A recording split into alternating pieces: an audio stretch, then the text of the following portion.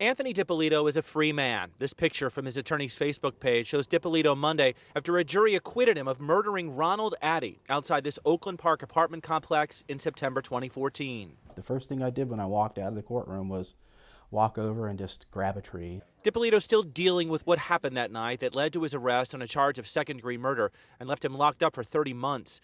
Dippolito said he went to his ex girlfriend's apartment to drop off some of her stuff. It was in the wee hours of the morning. It was probably not the wisest decision that I ever made. But he said he and the woman were still on good terms. You know, I had uh, I had spent time there, you know, 24 hours prior to this. Mm.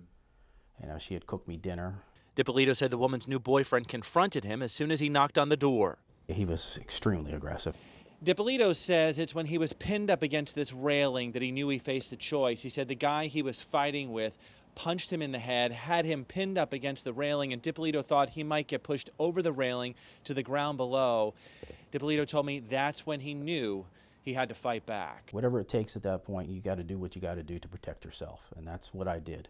I did nothing more than simply defend myself.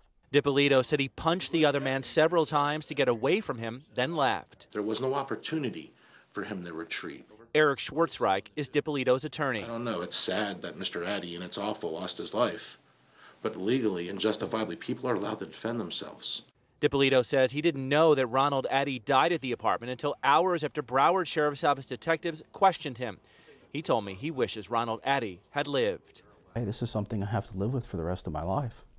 Whether or not I, I was legally in the right to do what I did, it still does not change the fact that a person has passed away.